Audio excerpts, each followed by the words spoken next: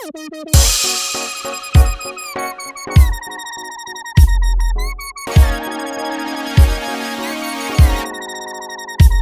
Assalamualaikum Raya dah nak dekat So tahun ni ingat Ayu nak make over wall dekat belakang Ayu ni Guna Nippon Paint Momento Special Effect Paint uh, Dalam kod Sparkle Silver Brilliance okay.